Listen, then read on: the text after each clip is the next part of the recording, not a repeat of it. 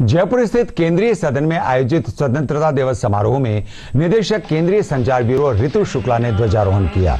इस अवसर पर सहायक निदेशक कैलाश चंद मीणा सहित अन्य केंद्रीय कार्यालयों के अधिकारी और कर्मचारी मौजूद रहे।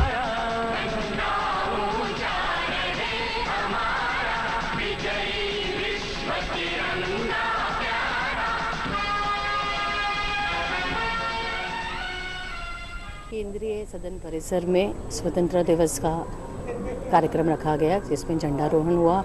उसके बाद देशभक्ति गीत की प्रस्तुतियाँ हुई, काफ़ी सुंदर प्रस्तुतियाँ थीं और यहाँ सभी उपस्थित बच्चे जो थे, उनको संदेश दिया गया, बड़ों को संदेश दिया गया कि हमें किस तरीके से आज आज़ादी का अमृत महोत्सव जो पूरा देश मना रहा है, हर घर तिरंगा जो कैंपेन है, पूरे देश में चल रही है, पूरा देश, देशभक्ति के जज्बे से डूबा हुआ है और सभी इसको बहुत उत्साह से मना रहे हैं।